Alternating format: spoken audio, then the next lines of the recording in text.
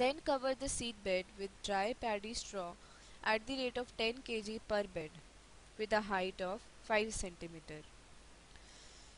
Then irrigate the seed bed by using rose can every day in the evening time at the rate of 20 liter water per day but during rainy season it depends on availability of soil moisture in the soil. Chili seeds need minimum 7 to 9 days to germinate. So just after seed germination, remove the straw over the seed bed and cover the entire seed bed with mosquito net for 30 days minimum to protect the seedlings from sucking pests such as whitefly, jassids and aphids, etc. Cover the seed beds with polythene sheet or bamboo netting frame with a height of 3 to 4 feet from the ground level to protect the seedlings from excess water during rain.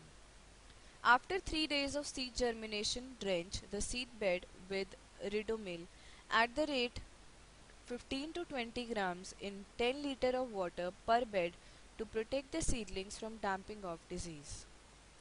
This was all about how to prepare a nursery bed in the next session, we will study techniques of seed production of important vegetable crops. Keep in mind precautions to be followed while preparing the nursery bed for chilies. Damping off might occur due to over irrigation, so irrigate the seed bed when necessary. Use rose can for irrigation over the mosquito net without removing the nursery net till the seedlings are ready for transplanting. Just one day before transplanting, spray pesticide amount of which is 0.5 ml per liter of water by using spray machine to protect the seedlings from any pest attack at main field after transplanting for 7 to 10 days. Chili seedlings should be transplanted within 20 to 25 days in the main field to get best results.